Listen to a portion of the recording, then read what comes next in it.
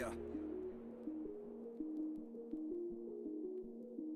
I wake up every morning with my head up in a daze. I'm not sure if I should say this, fuck, I'll say it anyway. Everybody tries to tell me that I'm going through a phase. I don't know if it's a phase, I just wanna feel okay. Yeah. I battle with depression, but the question still remains Is this post traumatic stressing or am I suppressing rage? And my doctor tries to tell me that I'm going through a phase. Yeah,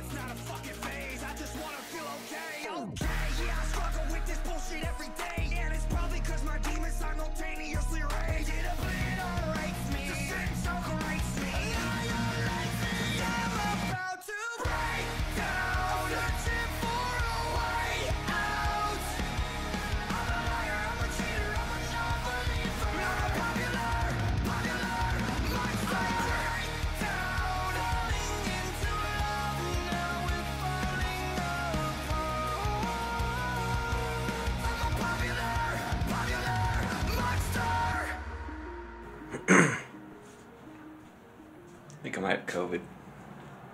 I don't know, I got a sore throat and shit. That is not the purpose of this video. If this video has a purpose. If life has a purpose, who knows? Who's to say? You kind of have to make it your own. One thing that I've learned recently, relearned, rediscovered, is you have to be willing at times start over. Hit the reset button.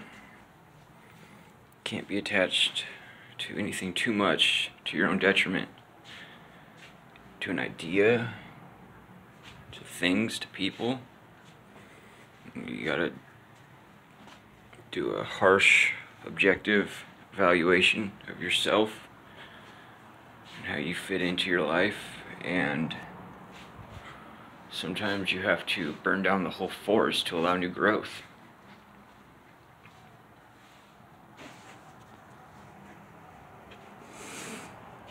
It's hard to know exactly when you're supposed to do that because it's something we try to avoid. Something I try to avoid. But inevitably, in the end, was avoidable if only I had done it sooner, to a degree. A controlled burn. Because once the whole forest is poisoned,